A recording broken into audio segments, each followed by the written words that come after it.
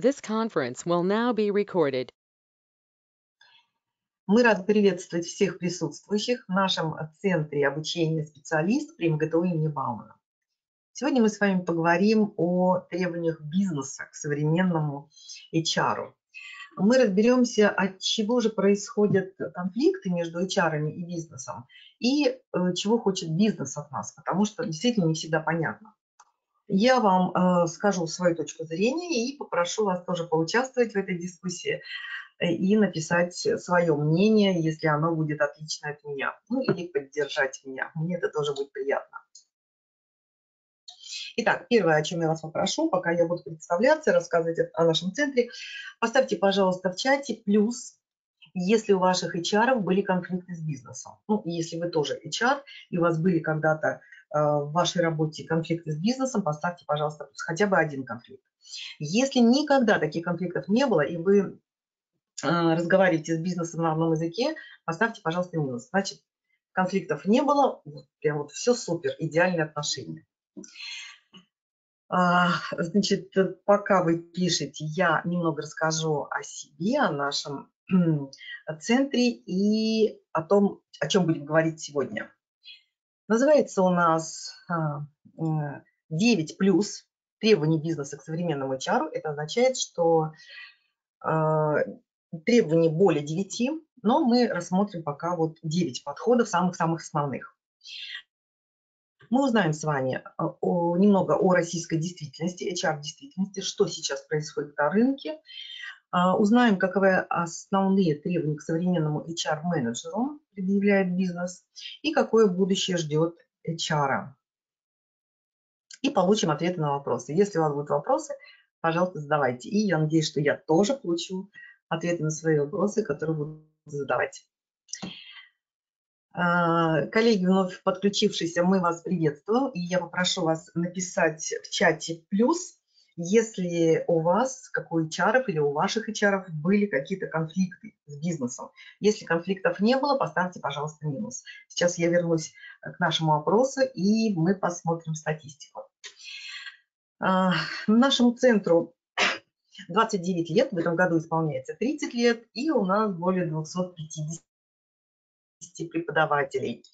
А, одним из преподавателей являюсь я, Ольга Юрьевна Светлышева. И, и это мои регалии. Я член кадровиков, сертифицированный специалист в области кадрового менеджмента и кандидат юридических наук. Э, работала, начинала свою деятельность э, с преподавания, 10 лет работала в учебном заведении, высшем учебном заведении, и затем перешла в HR после окончания годичных курсов при МГУ имени Ломоносова. Так вот, э, я хотела бы на этом пока остановиться, потому что э, если говорить о нашей теме сегодняшней, с вашего позволения я посмотрю чат. Так, я вижу, что есть плюсы и минусы. Да, спасибо большое. Сейчас я прокомментирую. Коллеги, пожалуйста, пишите в чат плюсы и минусы свои. Посмотрим, как у нас, что за аудитория, да? И я бы хотела рассказать о том, что я тоже испытывала трудности с бизнесом, когда переходила из государственной структуры а, в бизнес, в бизнес-структуру, в рыночную.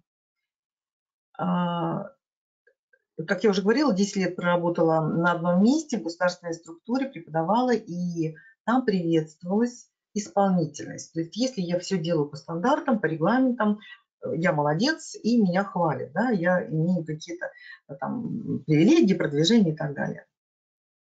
Когда я пришла в бизнес, я не могла понять вначале, что от меня требуется, потому что модель моего поведения была прежней. Да? Я была такой исполнительной, э, старалась выполнить все, что требуется от меня, но почему-то все равно были претензии, и как-то народ не мог объяснить, что он от меня хочет. А, позже я поняла, что в бизнесе приветствуется активность и инициативность. И когда я это поняла, я стала в себе вырабатывать. Если раньше в государственной структуре подавляла это, потому что, помните, есть такое выражение, а, инициатива наказуема. Да? Вот у нас было принято так, такая корпоративная культура была. Теперь я перешла в рыночную ситуацию, и я поняла, что от меня требуется активность инициативность. Начала вырабатывать себе эти качества. Но, между прочим, пока вот до меня дошло это, мне же никто это не объяснил, я совершила очень много ошибок. Вот одной из ошибок, которая, кстати, достаточно часто распространена среди HR, это то, что HR – люди э, гуманистического склада и очень сочувствуют окружающим. С одной стороны, это хорошо, потому что ну, действительно мы работаем с людьми. С другой стороны, вот такое повышенное сочувствие к работникам может привести к нанесению вреда и риска для бизнеса. Потому что а, бизнес считает, что необходимо отстаивать интересы бизнеса. А как мы это сделаем, как будем крутиться, никого это не интересует. И вот я хочу привести вам а, в пример опрос э, сайта Executive. Они проводили опрос, который назывался «Оцените вашего HR».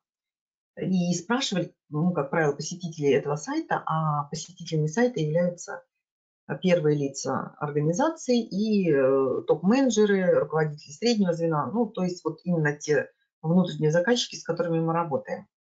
А вопрос был такой, на чьей стороне находится HR?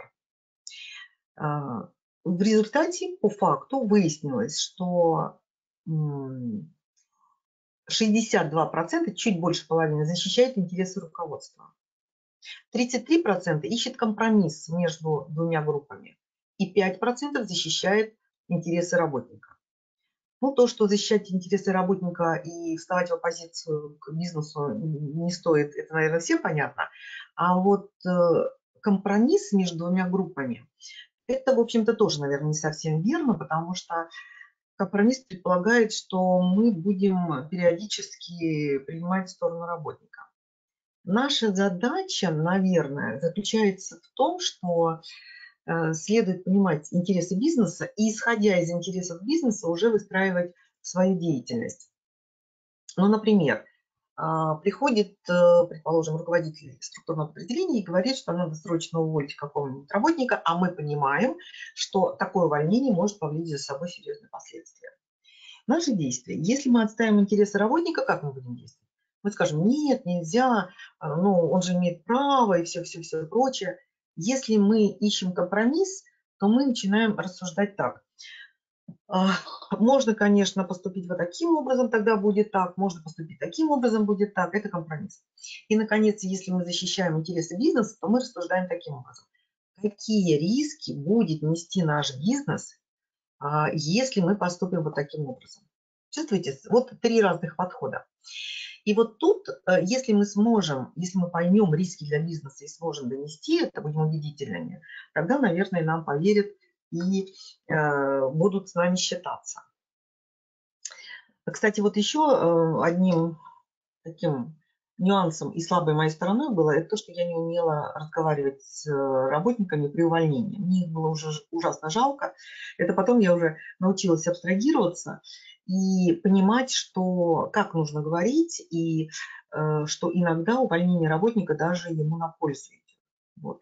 И самая главная задача, конечно, вот в таких разговорах, это то, что человек уходит, а, но оставляет хорошее впечатление о компании. В общем, э, граблей было много, наступала я на многие грабли, ну и в результате сделала какие-то определенные выводы. Состоялась профессия, на мой взгляд, э, выросла до директора по персоналу. И а, в качестве директора по персоналу пришла сюда, в Центр компьютерного обучения специалист 12 лет назад. И сейчас я а, перешла в преподавание, веду курсы по управлению персоналом, кадровые курсы, курсы по трудоустройству выпускников, семинары, практикумы. Курирую HR-клуб эм, специалисты э, в социальных сетях консультирую слушателей и выпускников по вопросам управления персоналом, ну и публикую статьи, посты в профессиональных журналах и специализированных сайтах. Свои контакты я вам тоже оставлю. А, это моя электронная почта.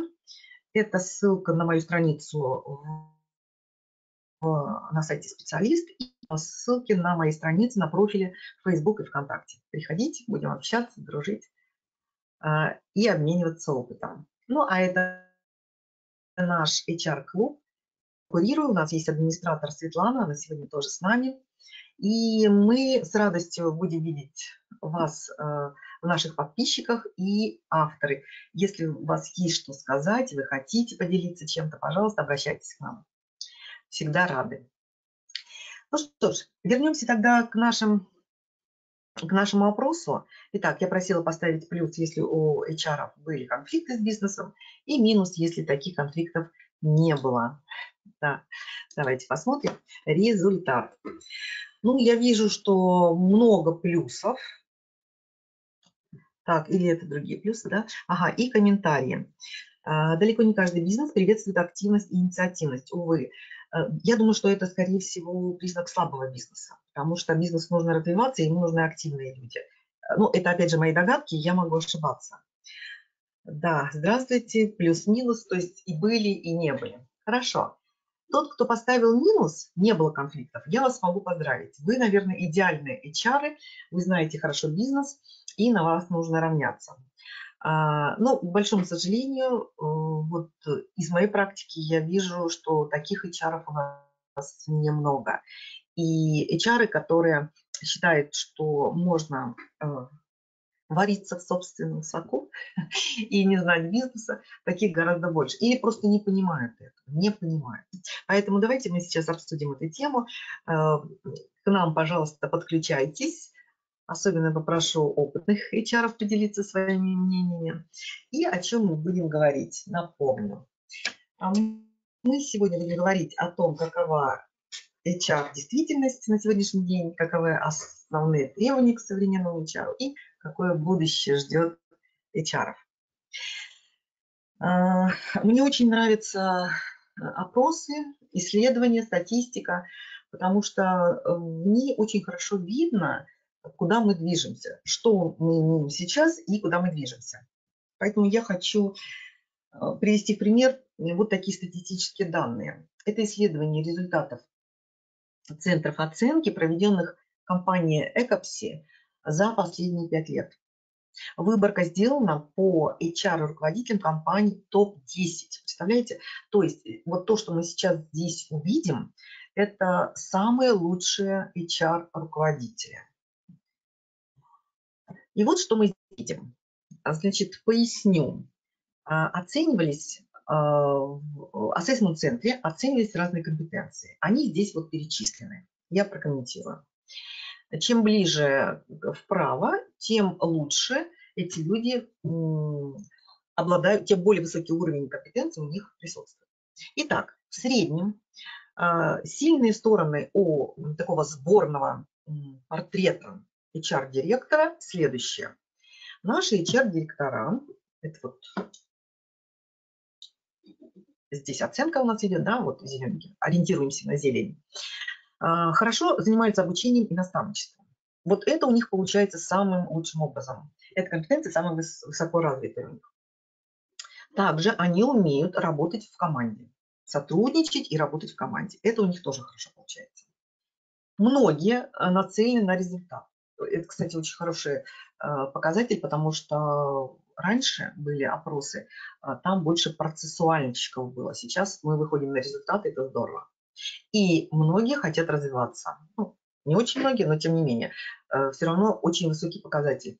Готовность к саморазвитию. Это здорово. Теперь посмотрим, какие слабые стороны есть у нашего вот такого сборного HR-директора. Планирование организации работы, перспективное мышление, эффективная коммуникация, лидерство. Послабее. Э, в результате что получается? Э, какой HR нужен бизнесу? Да? Какой? В первую очередь, наверное, бизнес хочет, чтобы HR-директор, сейчас мы именно о директорах говорим, вел за собой персонал, верно? То есть, чтобы он был лидером, чтобы он э, направлял персонал в нужном направлении. Но, к сожалению, лидерские качества у наших HR-директоров развиты не очень хорошо.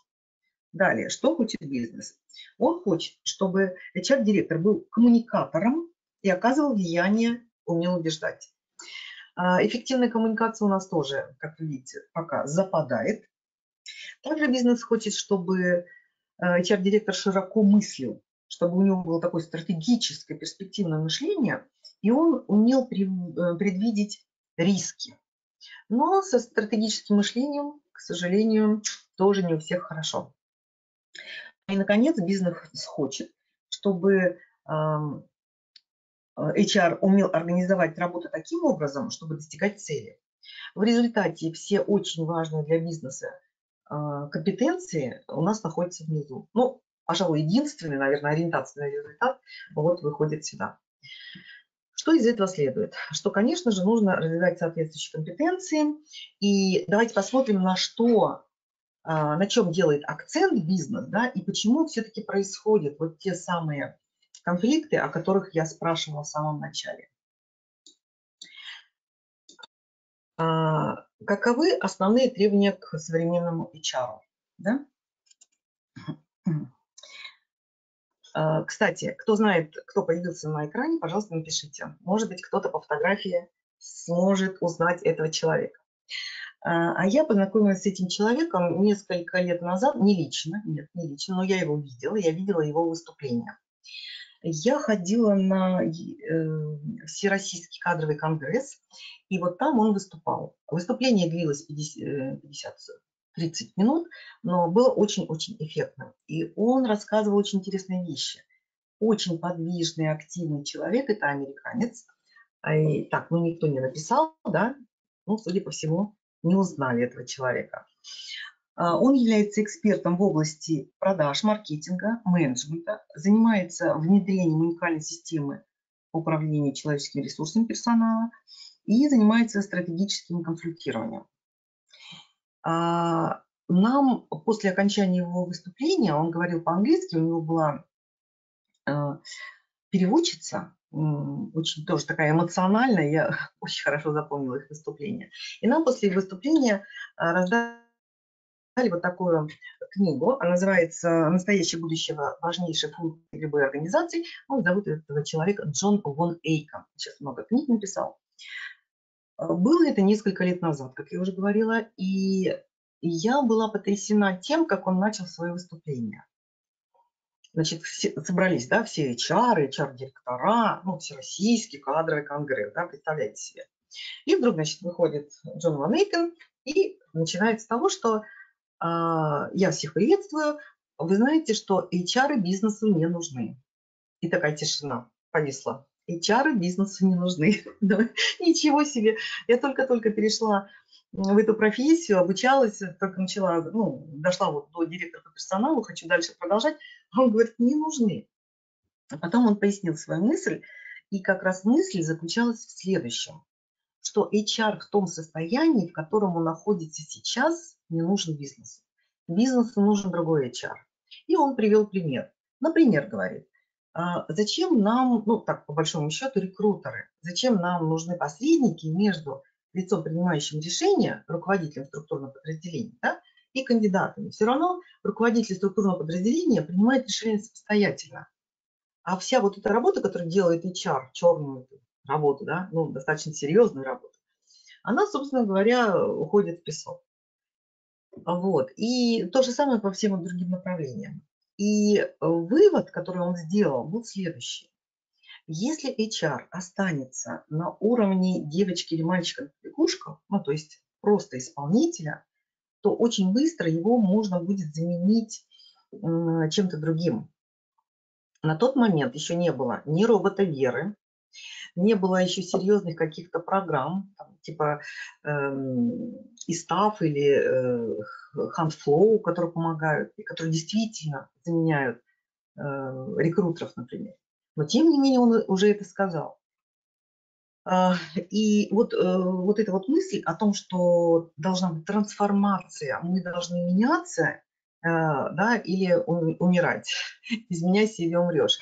Э, вот в этом смысле меня это тогда, конечно, очень потрясло. На сегодняшний день я думаю, что это не открытие. И мы сейчас посмотрим с вами, а, как можно действительно измениться, изменить отношение к своей работе, к бизнесу, для того, чтобы помогать бизнесу развиваться тоже. А, мы посмотрим разные направления деятельности, пройдемся по каждому из них. Например, это HR-стратегии, вот те самые 9 а, требования к бизнесу, да, это требования к HR-стратегии, требования к подбору персонала, а, к системе адаптации, онбордингу, системе оценки персонала, обучению и развитию, мотивированию персонала, корпоративная оптимизация бизнес-процессов и управление изменениями. Ну, плюс что-то еще, о чем я тоже расскажу. Если вам интересны эти темы, и вы еще не проходили наш курс менеджера персонала уровень 1, я вас приглашаю. Потому что с 15 февраля начинается этот курс, он будет проходить днем с 10 до 17.10, всего 40 академических часов, дистанционно. Плюс этого курса в том, что мы делаем запись, и эта запись будет выложена в вашем личном кабинете и доступна вам в течение 6 месяцев. То есть вы сможете просматривать эту запись. Ну, плюс, конечно же, презентации, дополнительные материалы, все это тоже будет. В курсе мы будем рассматривать темы, касающиеся разных направлений, а, очень а, современных направлений, таких как диджитал-организации, чарт-маркетинг, адаптация, онбординг, TND-системы и так далее. То есть это курс, который структурирует знания того HR, который уже работает. Ну и для новичков это тоже очень полезный курс, потому что сначала, с самого начала вы сможете понимать а, особенности HR-работы и как а, ну, э, те инструменты, мы дадим те инструменты, которые вам помогут в работе. Ну что ж, давайте мы тогда пройдемся. Да, здесь у нас, а, если у вас нет высшего образования, мы выдаем свидетельство. Если есть высшее образование, удостоверение о повышении квалификации. Ну и если вы выберете дипломную программу, а, я вижу в чате у нас есть наши выпускники, дипломники, то вы получите вот такой диплом профессиональной переподготовки, то есть получите новую профессию. Теперь пройдемся по тем девяти требованиям бизнеса, о которых я говорила, и я прокомментирую то, что я как, как я себе представляю это? А, во-первых, HR-стратегия. HR-стратегия, а, она выходит из общей стратегии. И вот, к большому сожалению, я сталкиваюсь с тем, разговаривая с нашими а, слушателями, выпускниками, что очень редко в организации она разрабатывается. И получается, что мы работаем, знаете, как вот плывем по течению, и все. А куда плывем, не знаем. Это мне напоминает Алису в «Стране чудес», когда она оказалась на перепутье дорог, и у чеширского кота спрашивала, куда мне идти, по какой дороге. Он спрашивает, куда ты хочешь попасть. Она говорит, мне все равно. Он говорит, ну, тогда все равно, куда тебе идти, все равно не придешь. Так вот, HR-стратегия, то есть э, долгосрочный план на несколько лет, э, он, к сожалению, не всегда разработан. Хуже того, HR, сами HR не могут сформулировать миссию компании, не могут, не знают своих клиентов, не знают конкурентов, не знают, какое EVP э, ценностное предложение э, компания на рынок несет, не знают, какую нишу занимают, какую долю, куда идем, ничего не знают. И это, конечно, очень печально, потому что здесь идет столкновение с бизнесом. А, бизнес ожидает от нас HR-стратегии. HR-стратегия не разработана, в результате мы не можем выполнять а, ту стратегию, которая намечена бизнесом, и мы проседаем по а, персоналу, именно по людям. А люди – это самое главное. Помните определение организации? Что такое организация? Организация – это в первую очередь э, люди. Люди, которые объединены какой-то целью и идут в каком-то направлении. Вот, поэтому это, конечно, большой пробел, и HR-подразделения должны знать общую стратегию и вырабатывать HR-стратегию. Следующий момент – подбор персонала. Кстати, напишите, пожалуйста, в чате, какие каналы привлечения персонала вы используете. Просто очень интересно, какие каналы вы сейчас используете. А я пока прокомментирую. Э, на этом уровне, на уровне втором подбор персонала, тоже бывают конфликты. Конфликты заключаются в том, что заказчику, э, конечно, требуется результат. Да? Заказчик работает на результат, и он говорит о том, что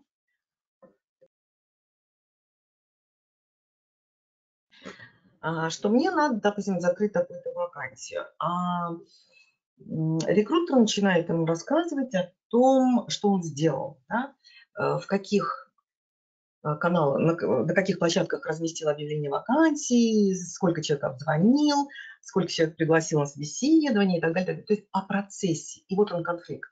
Руководитель говорит, хорошо, я понял, ты проделал большую работу. Скажи мне, пожалуйста, ты закрыл вакансию? Нет, ну я же и опять. То есть разговор совершенно на разных эм, уровнях происходит. Уровень процесса и уровень результата. Ну вот, кстати, не вижу, к сожалению, никто не написал. Э, возможно, это...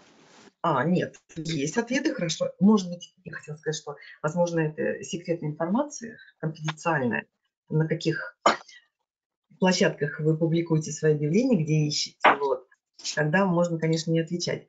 Но если это не секрет, напишите, пожалуйста. Так, коллеги, я прошу отключать микрофон. Если что-то сказать, я готова ответить. Готова ответить. Вот. Но, пожалуйста, если просто шум какой-то идет, лучше микрофон не включать. Угу. Спасибо. Так, значит, вот есть ответ. Таргет реклама в Яндекс. Работные сайты, приведи друга, рефераль, э, реферальная программа. Отлично, отлично. Э, я не вижу здесь вот HeadHunter, Суперджоба, не вижу других работных сайтов. Готовим блог, блог на сайте компании, начинаем сообщение с, уч, общение с учебным заведением, прелиминарий, наверное. Да? Прекрасно, прекрасно. Вот продвинутый HR у нас, это радует. Я просто хотела сказать о том, что если HR не может определить разные каналы поиска и зациклен только на одном, а, как у нас девушка говорила, нам нужны грузчики, мы размещаем объявления на HeadHunter, большие деньги платим, а грузчики все не идут и не идут. Да? Ну, то есть э, источник не совсем правильно подобран. Если неправильно подобран источник, то в этом случае, конечно, а, результата не будет. Ну и, конечно же, в последнее время наши коллеги все больше и больше используют социальные сети. Социальные сети, профессиональные сообщества. И мы вообще постепенно переходим в SMM. Мы становимся немного маркетологами. Да? Это тоже очень важно. Итак, если мы говорим о подборе персонала, то здесь требуется привлекать и удерживать нужных людей. Да? И э, надо знать, где они находятся, эти нужные люди. Так. Еще одно требование бизнеса. Бизнес хочет, чтобы новые сотрудники как можно быстрее влились в работу. И здесь есть э, два таких, две крайности. Первая крайность, когда перед тем, как разрешить человеку что-то выполнять, новичку, проводятся тренинги, такие длинные тренинги. Это может быть неделя, две до месяца. Вот целый месяц человек ходит по тренингам, чему-то учится, учится, учится, потом ему все это надоедает, он говорит, нет, наверное, не мое, и уходит. Деньги вложены, время потеряно, а, не нашли, вакансию не закрыли. Вторая крайность заключается в том, что человек приходит, и его сразу окунают с головой в работу в одной компании вот такая система адаптации называлась подводная лодка. Подводная лодка – это когда э, человек приходит, ему дают задание с первого дня на неделю, и он должен выполнить это задание. Если он не выполнит, то с ним прощается. Выполнит – молодец. Но при этом никто не имеет права ему помогать. Представляете? В результате новичок, он и так в стрессе, потому что у него адаптация к рабочему месту, к корпоративной культуре, к людям, к функционалу, но, тем не менее, с него требует. И вот э, двойной такой стресс, он, конечно, не каждый выдерживает. Вторая крайность – реальная жизнь. Да, возможно, возможно. Но вот, э, к сожалению, так бывает. Поэтому наша с вами задача выстроить систему адаптации онбординга таким образом, чтобы и бизнес не потерял э, вот на этом длительном обучении и не потерял деньги, которые мы выделяем на подбор, например, да, чтобы те люди, которых мы привлекли, все-таки остались у нас и как можно быстрее стали наиболее эффективными. Это система адаптации онбординг. Что касается оценки персонала, здесь мы сходимся с бизнесом, потому что бизнес всегда с радостью а, выступает за то, чтобы проводить такие оценки. Но у нас здесь э, другая история. Дело в том, что многие оценки, вот методы оцен, оценки, а, сводятся только к оценке результативности. Да, вот сколько сделал, там сколько договоров подписал, сколько товаров продал и так далее. Но не думают о том, а какова же ее ценность вот самой деятельности. Ну, например, если сказать, чем больше, тем лучше, вперед из песни, то может произойти такая ситуация. Вот в моей жизни такая ситуация была. А, мы сказали менеджерам по продажам, по работе с клиентами, чем больше продадите значит, э, мест в отеле, тем лучше.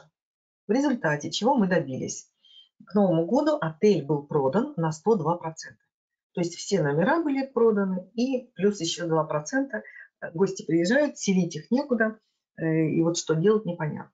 Та же самая история у нас была, например, когда я работала в группе компаний, э, которая занималась эм, полиграфией. Там та же ситуация была, когда менеджерам мы сказали, продавайте, чем больше заказов будет, тем лучше. Они расстарались, очень много привлекли клиентов, и в результате производство просто не справлялось с этим. Либо не было таких машин, у нас надо было закупить печатную машину для того, чтобы выполнить какой-то заказ, вот, либо просто не успевали, потому что другие заказы шли и так далее. И, конечно, заказчики были очень недовольны, сроки увеличивались, и многие от нас просто ушли, наши клиенты. Вот, поэтому э, тут надо четко понимать э, требования бизнеса, что бизнес может да, сделать, что не может, и когда мы оцениваем, мы оцениваем не только результативность, то есть сколько продал, но и как это было достигнуто, вписывается ли это в э, стратегию бизнеса и, конечно же, компетенции оцениваем, потенциал, потому что мы смотрим стратегически, и нам нужно понимать, а сможет ли этот человек, вот сегодня он хорошо справляется, а сможет ли он завтра справляться с этой деятельностью. Да? То есть мы оцениваем еще и потенциал, компетенции.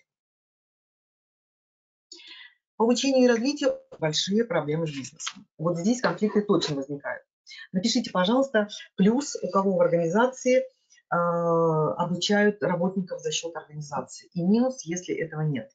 Ну или по прошлому опыту тоже можете оценить. Если э, обучают за счет организации или нет, тогда ставим минус. Дело в том, что вот пока вы пишете, да, я сейчас прокомментирую это. Дело в том, что многие работодатели считают, что надо брать готового сотрудника и нечего деньги тратить на обучение. Но мы понимаем, что даже если мы возьмем готового квалифицированного работника, все равно через некоторое время его надо обучать. Так, я смотрю чат. Ой, как меня радует наш чат. Слушайте, сегодня собрались самые-самые лучшие HR. Одни плюсы. Классно. Это очень хорошо. Значит, э, руководители ваших организаций понимают ценность обучения. А, и HR надо, конечно, уметь э, доказывать важность обучения и результативность. Вот если мы умеем посчитать результат, который после обучения будет, да, то есть что, какая польза будет от результата, и сравнить сможем с э, теми расходами, которые мы понесли на это обучение, тогда будет вообще замечательно. Мы будем убедительны, ну и дальше уже представляем эту информацию руководителя, чтобы он видел это обучение и развитие. А, а, еще один шестой пункт, где возможны конфликты, это система мотивирования. Так, я вижу в чате.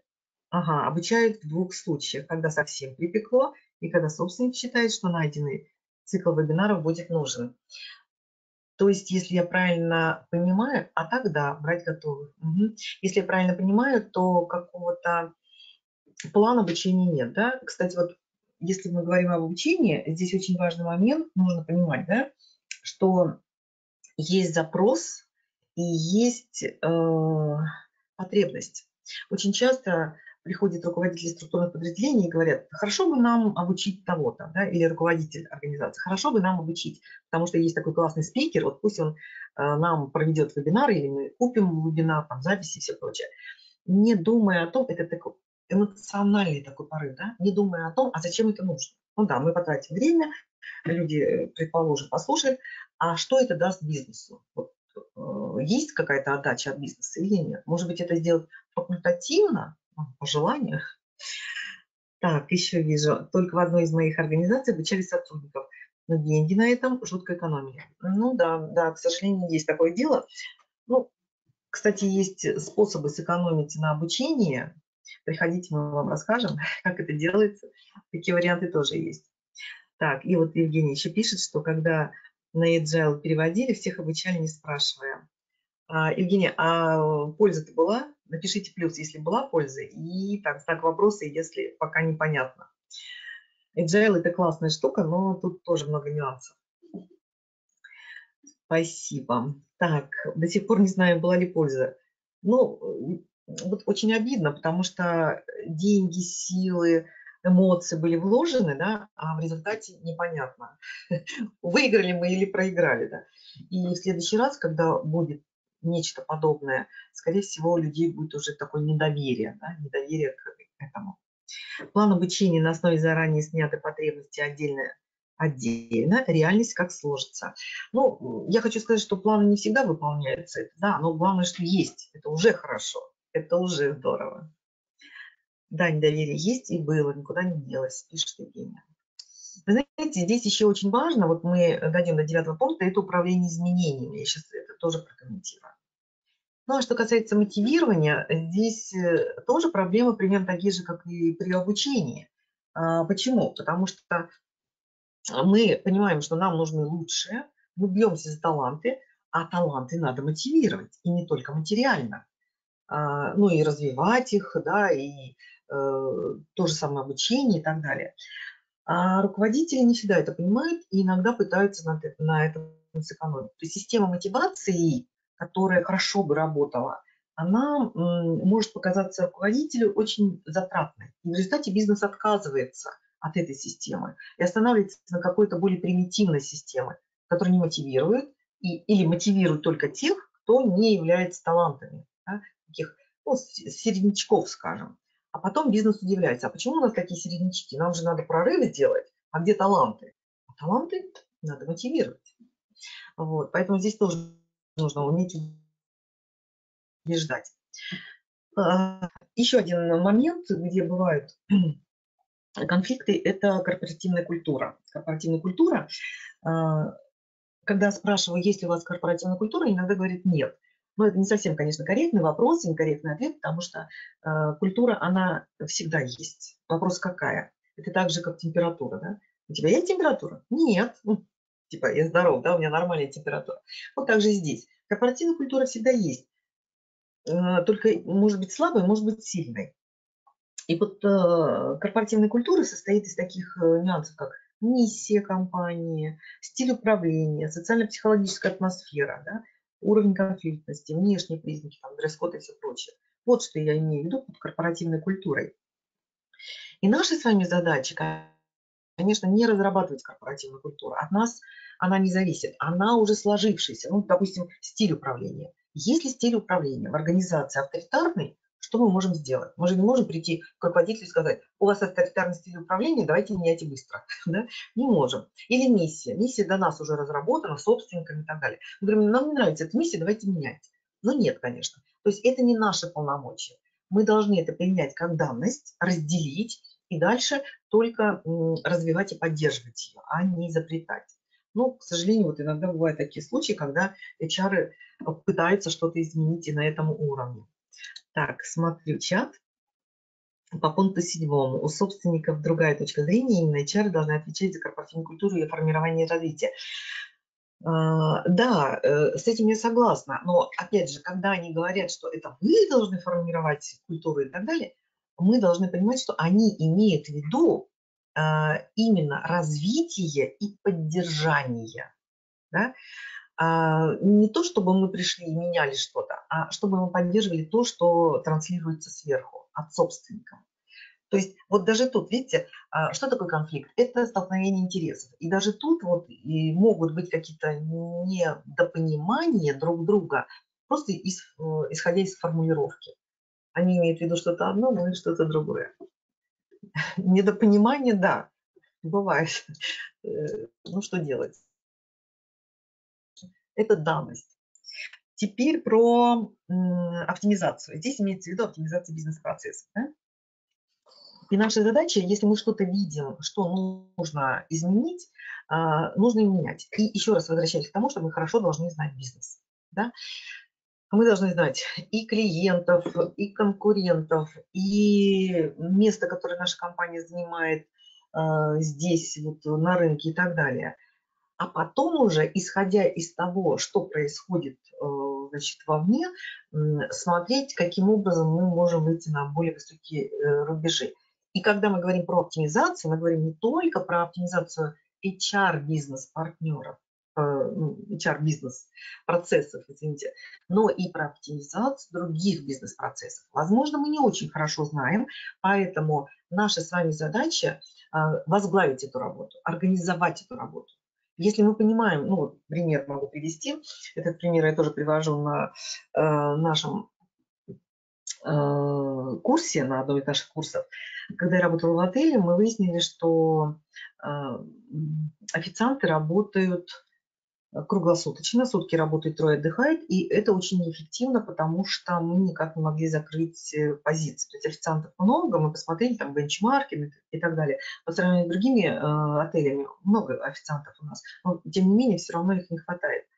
И когда мы оптимизировали бизнес-процессы, в том числе мы изменили график работы, оплату, э, почасовая стала оплата. Раньше была оплата, теперь почасовая а, оплата была.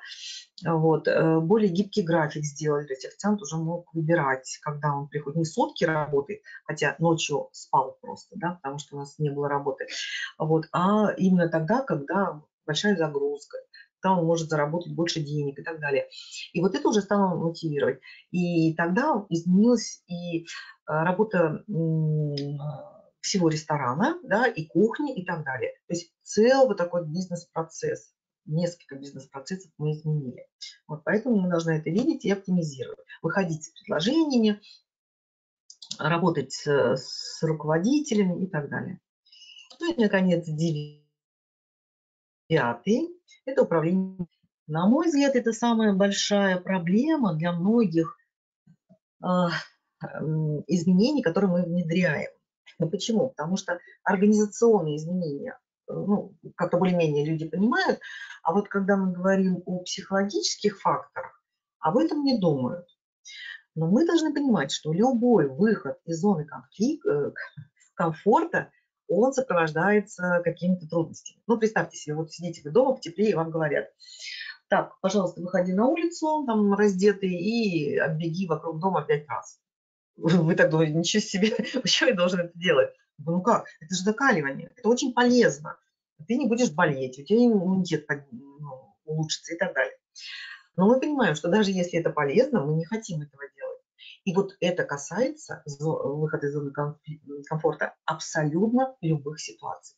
Даже когда мы меняем заработную плату, повышаем ее, и то люди настороженно относятся к этому. Ну, они, конечно, радуются, но так насторожно начинают сопротивляться. А почему? А что? А за что? А что будет? А может быть, потом вы вычтите там за что-то и так далее. Вот. Поэтому здесь нужно учитывать, конечно, особенности психологические управления изменениями и правильно их проводить. А, кстати, недаром в законе а, законодатель дает как минимум два месяца для предупреждения работников при сокращении численности штата, при ликвидации организации. А, опять же, 74 статья Трудового кодекса, да, когда изменяются условия трудового договора. Почему? Ну, потому что они знают, что человек должен привыкнуть к этому, к этой мысли, он должен подготовиться к следующему шагу и так далее. Поэтому управлять изменениями надо верно. А, ну, там тоже много нюансов, э, пошаговый алгоритм есть определенный, и HR должен инициировать, возглавлять эти перемены. Вот мы с вами обсудили 9 требований к, э, к современному HR, а, уровень конфликтов, где они могут быть. И давайте подведем итог. Значит, HR должен быть, конечно же, вот 9 обсудили, плюс-плюс, он должен быть, конечно, лидером в первую очередь. Помните наш э, первый опрос, который я показывала, на последнем месте э, компетенции лидерства, к большому сожалению. Что значит быть лидером? Это, во-первых, э, уметь э, достигать результатов. Во-вторых, уметь считать эффективность своей работы, HR-метрики. То есть, если мы говорим про HR-аналитику, то она должна присутствовать у нас вообще во, во всех направлениях деятельности. Третье. Мы должны уметь позиционировать свою работу, а, визуализировать результаты и показывать нашу работу. Потому что если мы не будем об этом рассказывать и показывать, об этом никто не узнает. Ну, мы варимся в своем соку, мы молодцы, посчитали метрики, о, супер, у нас там 200%, вот, а никто об этом не знает. А все остальные смотрят и говорят, а чем вы вообще занимаетесь? Зачем нам нужен HR, да? Что вы делаете? Бездельничаете. Ну и еще один нюанс – это уметь быть убедительными и оказывать влияние. Здесь вот эта э, компетенция тоже проседает. То есть иногда HR подкованный, понимает все, делает все правильно, но не может переубедить заказчика, э, работников, там, руководителя структурного подразделения, руководителя организации, не принимающих решений, не может убедить. Почему? Не хватает аргументов, не имеет, нет техники ведения переговоров и убеждения. Поэтому, конечно же, ну, нужно к этому стремиться, развивать эти